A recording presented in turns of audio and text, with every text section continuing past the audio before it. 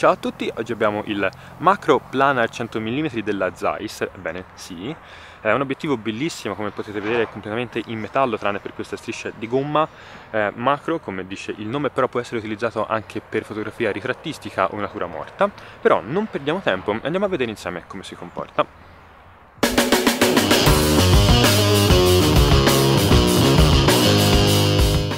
Come dicevo prima è completamente in metallo, eh, non è troppo pesante, è leggermente pesante però eh, mi aspettavo fosse, eh, lo fosse di più. Mm. È molto elegante il design, non abbiamo il display elettronico come sui Batis, però la Uh, la distanza di messa a fuoco è incisa direttamente sulla ghiera, ghiera che occupa gran parte del barilotto come potete vedere, uh, però scorre veramente, veramente in modo fluido, è una delle ghiere più fluide, forse la più fluida che abbia mai uh, provato, veramente, veramente fluidissima, è un po' lunga, questo ci permette di ehm, mettere a fuoco al millimetro, proprio calibrare la, messa a fuoco alla perfezione, comunque potete vedere che è veramente lunga per uh, fare il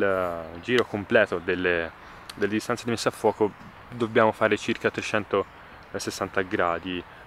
in rotazione per insomma, arrivare fino all'infinito, se partiamo dalla minima distanza di messa a fuoco. Minima distanza di messa a fuoco di 45, 45 cm circa, questo ci permette appunto di fotografare in macro, anche se non è un macro vero e proprio, il rapporto di riproduzione dell'obiettivo arriva solo a 1,2, quindi non è 1,1.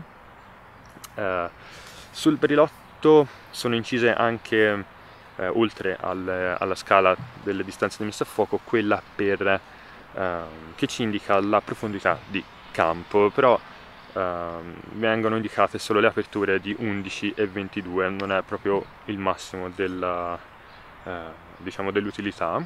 Eh, altra cosa importante della costruzione, oltre che oltre al fatto di essere completamente in metallo, è che all'interno ospita delle guarnizioni che proteggono il barilotto e l'interno, quindi le lenti, da eh, gli agenti atmosferici, quindi particelle di polvere o schizzi d'acqua, cosa che lo rende eh, diciamo, tropicalizzato grazie anche alla guarnizione qui, eh, questa blu,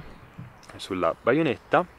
Uh, possiamo montare qualsiasi tipo di filtro, ovviamente, anche quelli polarizzatori, quindi basta che abbiano un diametro di 67 mm Uh, quindi questa era la parte uh, della costruzione, la parte estetica, veramente una lente bellissima, anche la confezione è molto elegante, uh, con il rivestimento interno di spugna blu. quindi niente, questa era la parte della costruzione, andiamo a vedere come si comporta e che prestazioni è in grado di offrire. Piccola premessa, è uno Zeiss, sì, quindi qualità eccezionale, però non è un obiettivo privo di pecche. Andiamole a vedere insieme. Partiamo dalla distruzione, le immagini che eh, restituisce sono perfettamente piatte, non ne abbiamo il minimo accenno, veramente la perfezione fatta immagini da questo punto di vista. Però la vignettatura è una delle pecche eh, che vi ho accennato perché alla piena apertura eh, le immagini sono sature quasi da, di questo disturbo, solo la parte centrale è più chiara e il resto è tutto conquistato, fra virgolette, dalla eh, vignettatura. Per liberarcene dobbiamo chiudere il diaframma a 2.8 dove eh, le immagini mostrano un leggero accenno di vignettatura, poi per avere delle immagini proprio libere completamente dal disturbo dobbiamo arrivare a 4 di apertura focale. Eh, la nitidezza invece ci mm, diciamo uh, aiuta a riavere fiducia nell'obiettivo perché è una delle nitidezze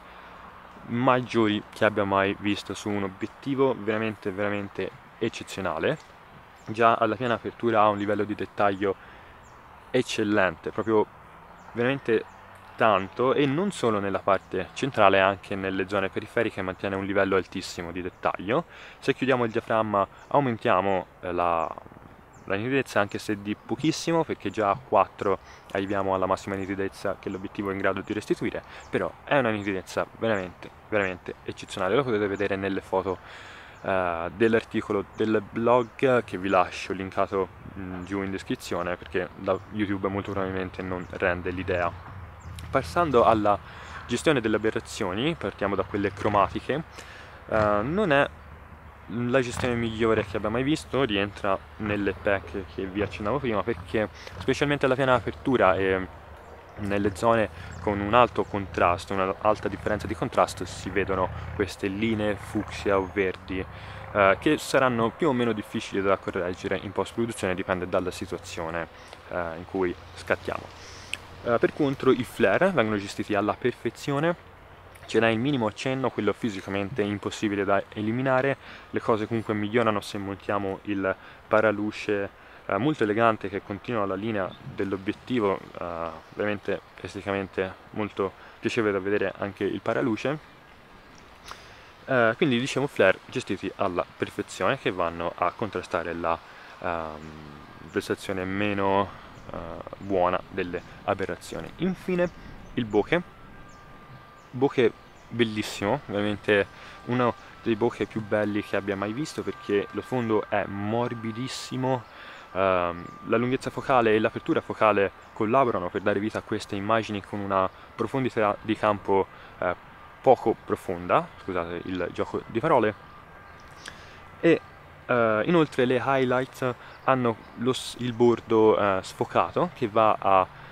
mescolarsi con lo sfondo delle immagini dando vita a questo sfondo molto molto morbido. Quindi bokeh veramente veramente bello da vedere. Proprio dà soddisfazione fare le foto con questo obiettivo. Uh, quindi concludendo, obiettivo eccezionale, senza dubbi, però come dicevo prima non privo di pecche, tenendo conto uh, di chi lo costruisce e il prezzo che ha non è per niente economico come obiettivo mi aspettavo delle prestazioni migliori, uh, quindi vignettature e aberrazioni me le aspettavo uh, gestite molto meglio, però le altre prestazioni valgono sicuramente a contrastare questi difetti e a uh, sormontarli sicuramente. C'è da tenere in considerazione però che non è un obiettivo molto economico. Lascio a voi decidere se promuoverlo o meno, se io dovessi dargli un voto potrebbe essere 8, 8,5, 9 forse, però insomma lascio a voi decidere, fate, uh, dite quello che vi pare nei commenti, fatemi domande se ne avete, uh, io il video lo concludo qui, vi lascio il link all'articolo, almeno come dicevo prima potete uh, guardare meglio le foto alla, a una risoluzione maggiore e quindi niente, lo concludo qui questo video, quindi da è tutto, arrivederci.